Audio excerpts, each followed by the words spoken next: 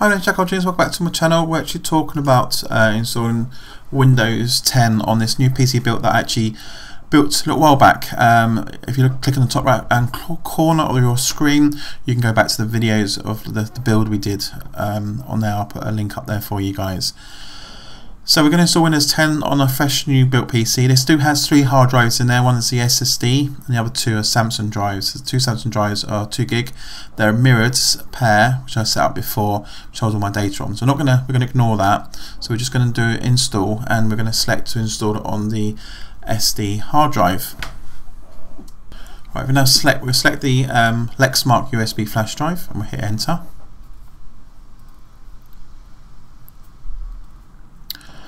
And long your memory stick in your USB drive it should have boot in. There's various buttons you can press to select boot from um, the boot. So it's on my one it's F12 and uh, now we've got Windows 10 so there's a point, no point installing 32-bit we'll install a 64-bit because it's a 64-bit motherboard. If you've got a 32-bit motherboard then obviously you install 32-bit comes with two versions of Windows on here. So we now click enter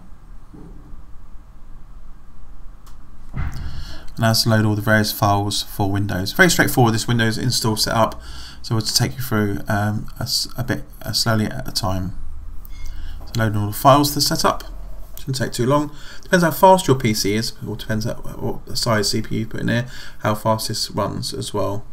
We're using a, a USB, um, USB 3 memory stick so it should be pretty quick installing the software.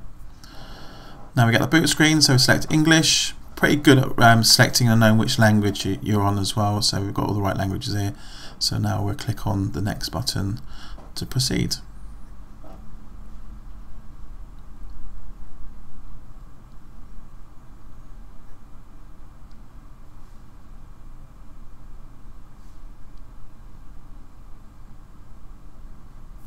Now click on the install button and set up now we'll start start doing its bits and pieces in the background very straightforward and very easy Right, if you have an install key, you can actually install it here, but it doesn't really matter if you haven't got an installation key. Windows uh, comes allows you to sort of install it without Windows key, and it locks certain things down, but you can actually run Windows for a very long time without an installation key before you actually provide it. So on here we click on um, skip, So we'll click on accept license agreement, click next. From this point on here, I just want to do a full install, so I would choose uh, click on the custom install for Windows only. Never do an upgrade. Upgrade is always pants, never works. I've been around since Windows 3.11, all the way up through all the Windows up till now to Windows 10. If I always find upgrades a pain in the backside, and can cause lots of problems because it doesn't actually upgrade properly. It still keeps old Windows uh, drivers loaded and library files loaded and still tries to make things compatible. It's just a complete nightmare. Slows things down and leaves unwanted files on your system and it's very hard to tell whether what files are needed or don't delete. It's not a very clean install. So always choose the custom install for Windows and I'll do a complete format of the hard drive and so it's nice and clean from scratch. So we'll click on the custom install Windows only Now this part here, we've got um, lots of partitions. Two of the partitions are part of my mirror partition, which I'm going to keep them as they are.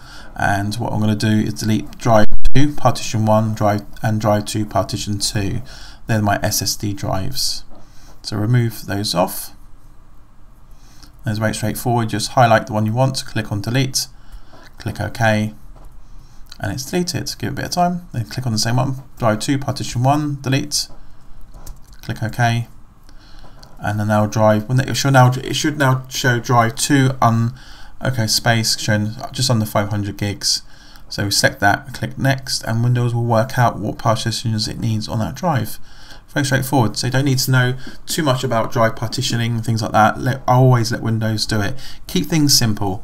If you've got a bigger hard drive on there then I'll see then you can then um, look at uh, partition them into two partitions, keeping one around about 500 gigs on the on the OS, always best, especially if you've got Windows updates happening all the time. To make sure there's always a very large amount of disk space there, and then the rest of them remaining into D drive. But in this case, because I've got Mirror Disk already installed, I have that for my additional data. So I'm just going to leave the whole drive as sort of for the OS. So we're going to get Windows installed now. I'm going to probably speed this process up so we get a rough idea on this particular spec um, PC that I built, see how fast it gets. So when we do future updates, we can compare the installed Windows 10 with a newer hard drive or, or with a newer, more memory or more CPU to see if there's any difference on how Windows installs, if it's faster or slow machine. So we'll, we'll keep this compare. So I'm going to speed this up and uh, we're going to get on and see how long this this is. We'll, go with six. It's written down on the website as well. Be details in below on the full install of this as well. So let's speed this up. Okay, this, now we need to install the installation key. If you do not have it, it doesn't matter. You can always install this later. It gives you two more options to install, install the installation key through the install. Anyway, we'll show you that and how to do it. So for now, we click on uh, do this later. And uh, this settings here, always tend to choose the express settings. Keep it really simple. So uh, use uh, use express settings. And we now allow Windows to install So now here we can um, create a Microsoft account or we can skip it. So for the moment for this tutorial we'll click on skip um, this setup and now we can actually enter in uh, a username and password to log in as standard. So, so we don't want to sign to an email address. We'll now set up uh, a one we call, call it support. We can add a password at this point, but to get this really simple, we're going to leave it without a password. But for you guys that want to put a password on it, it's quite straightforward. Enter the password you want to use re-enter it again and also remember to do a hit a hint just in case you forget what the password may be. So that could be anything in there a sentence or, or a saying that's going to remind you. Once you've done that we can now click on next. This next part just let Windows do it. Installs, installs lots of apps in the background. Can take um, a while to do.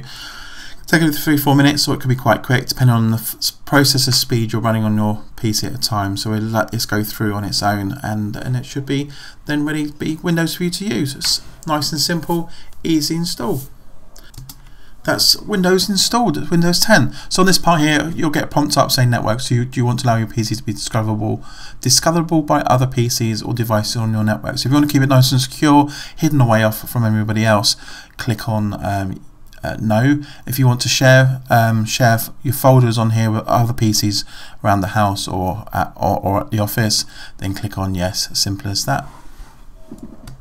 Remember from before we had uh, a, a mirror drive volume already on this system, so we'll just check to see if that's actually shown up in the drive bay. So we'll quick look at that.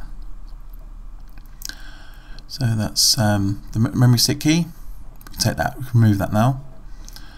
I click on my this PC and there we go. We've got C drive the SSD drive itself with the OS on it and then D volume which is all intact mirror disk all my files on there intact and, and secure.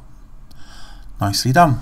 So if you want to carry on watching um, more of these tutorials please hit that subscribe button. Remember to comment below and uh, remember thumbs up. And any questions on this uh, install of Windows 10 you have please um, comment below.